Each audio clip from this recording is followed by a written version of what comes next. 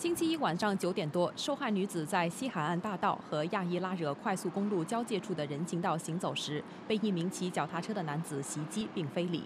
警方接获报案后，立即展开调查，并在星期四下午在美巴蒂路抓获嫌犯。调查过程中，也起获相信是嫌犯干案时所穿的衣物和使用的脚踏车。警方表示，脚踏车并不属于嫌犯，而是失窃赃物。In the past three days. more than 60 officers from the CID and Clementi Police Division have worked round the clock to gather information and evidence on the culprit. Their hard work paid off. 警方透露，嫌犯是一名22岁本地男子，无业，皮肤黝黑。他将在星期六被控上法庭，一旦罪名成立，将面对两年到十年的监禁以及鞭刑。 三月十三号到十七号之间，该地区还发生过另外一起侮辱女性尊严的案件。不过，警方也欲请公众放心，事发后，警方和居民巡逻队都已加强巡逻。